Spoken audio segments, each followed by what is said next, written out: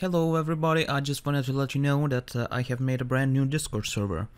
It is called the Genshin TCG Funtime server. And if you wanna talk about the game or talk to me personally or or, or just have a fun time, uh, I would ask you to join it. I will also be posting some stuff there that uh, is not available on YouTube or anywhere else and yeah the main reason why I'm making it is just because you know uh, YouTube is a bit limited in the ways that you can communicate and in what you can do and if you wanna have like a more personal discussion or like a, a more uh, off-topic one or you know send pictures or images you know uh, that's the place to be. So come on down if you like TCG and if you wanna talk about it more.